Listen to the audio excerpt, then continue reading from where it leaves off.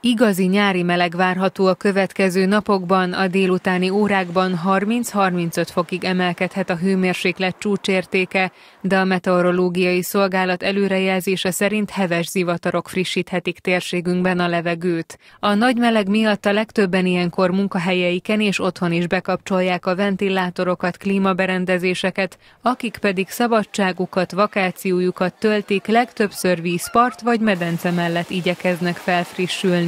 Javasolt elkerülni a tűzőnapot délelőtt 11 és délután 3 óra között, felhevült testtel pedig nem szabad hideg vízbe ugrani, hiszen az akár szívmegállást is okozhat. A meleg miatt pedig munkahelyeinken is érdemes jobban magunkra figyelni, ilyenkor több folyadék fogyasztása ajánlott.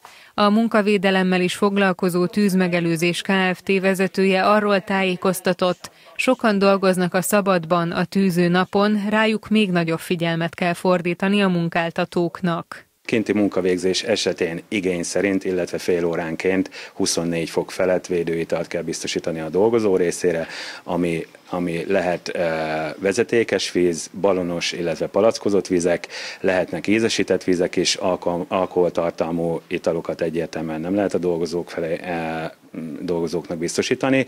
Javasolt a dolgozók figyelmét fölhívni arra, hogy fokozottan odafigyeljenek kánikula esetén a kollégánkra, a többiekre, árnyékos helyet biztosítani, illetve árnyékos helyen pihenőidőt többször kiadni, többször biztosítani a lehetőséget rá.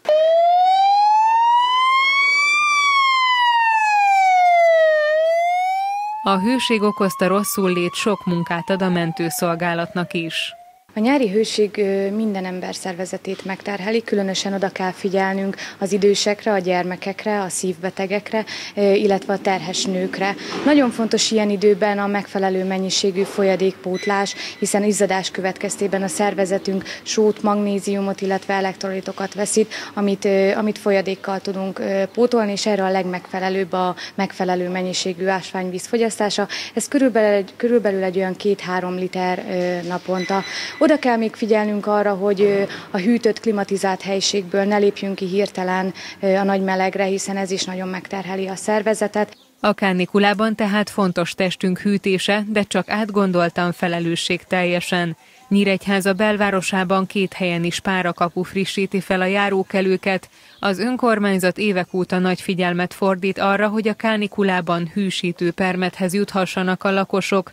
A tikkasztó meleg miatt délelőtt 9 órától este 21 óráig működnek a párakapuk a megyeszékhely belvárosában.